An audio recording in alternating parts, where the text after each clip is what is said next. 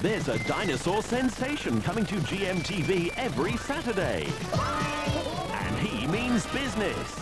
Barney is a dinosaur from our imagination. And when he's tall, he's what we call a dinosaur sensation. You better look out when Barney's about. There's no limit to what he'll do for fun. Barney can be your friend too if you just won't believe him. Use your imagination and the magic of Barney will appear every Saturday.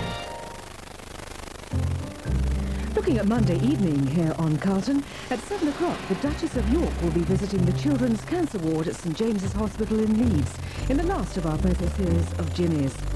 Now back to this afternoon, and in half an hour, the news, followed by Children's ITV. But first, we take the high road.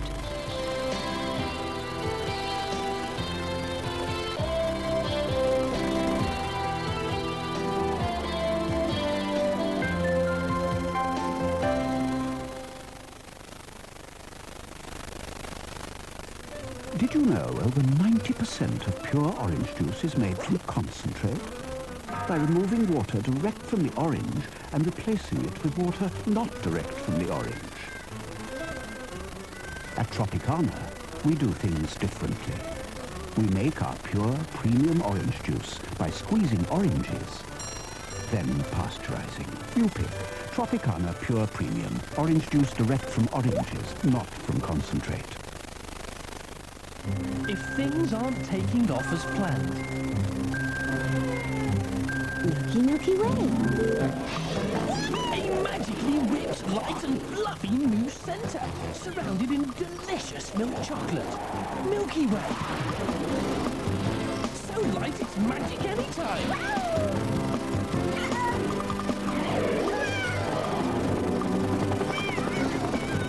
The magic's in the Milky Way. Where now is Edward the Confessor's healing power? The Black Prince's love of chivalry? The courage of King Charles in his last lonely hour? And all Victoria's pageantry? In these royal jewels still royal virtues flower, and grace a new brilliant setting in the tower. 6.30 in the morning. I must be mad. But you've only got to look at them to know why I do it. Good boy, Storm. Bet it. After all that exercise, they can't wait to get stuck into a really meaty meal. Pedigree Chum is satisfying meaty nourishment packed solid with all the goodness they need. I can't imagine life without my dogs. I wouldn't even consider giving them anything but the best to keep them bursting with energy. Pedigree Chum. Top breeders recommend it.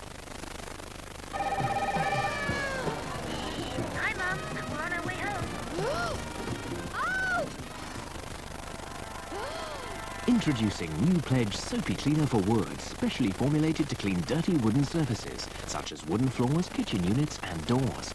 With its special soapy formula, it cleans wood, removing everyday dirt and grime, with no need to rinse. And because it's from Pledge, it won't damage your wood. Pledge Soapy Cleaner, gentle cleaning for wood. Heartburn. For fast, effective relief that lasts. New Bisodol Heartburn. It's dedicated to beat the burn fast.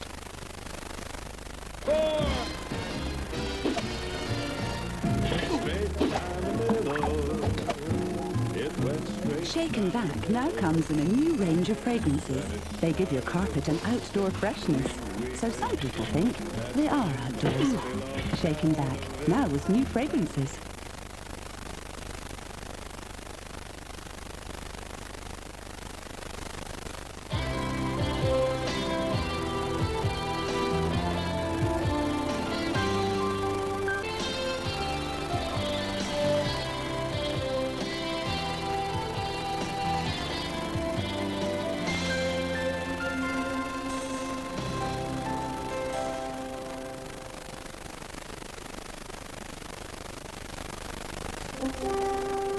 Deep in space, the games are tough. This is a new type of contest. Scavengers, requiring extraordinary mental and physical skills. These are the toughest tests in the universe. As the contestants scavenge for valuable salvage, alien forces fight it out to make the task even more difficult. Controlled and guided by the invincible android, This is an adventure like you've never seen before. Scavengers, tomorrow at 6 on ITV. On Monday evening at 8.30, World in Action investigates desert fever, an illness affecting a lot of Gulf War veterans, but which the Ministry of Defence says doesn't exist. Well, now on Carlton, it's time for the ITN News headlines with Dermot Murnaghan. Good afternoon. A Royal Navy ship has seized fishing gear from a British tuna trawler in the Bay of Biscay. Officials say it was suspected of breaking European regulations. The Spanish officials today claimed that British boats had been flouting the rules for years. Inspectors from HMS Anglesey boarded the Cornish trawler Charisma in the Bay of Biscay. It's a move that has been welcomed by the Spanish fishing authorities, who claim British vessels have been using nets which exceed European rules. Perhaps the reaction is um, one of uh, satisfaction and uh, confidence that the, um, that the system put in place will allow for a peaceful fishery to take place now onwards. The netter Pilot Star bears the scars of hairbrush with the Spanish fishing armada. Crewmen holding up the remnants of their fishing tackle. They claim the Spanish cut through their nets, causing £30,000 worth of damage. At the stern of the vessel, the empty space where the trawl nets would normally lie. In Cornwall, the threat of continued action by the Spanish has hardened resolve in a community which sees tuna fishing as a vital source of employment.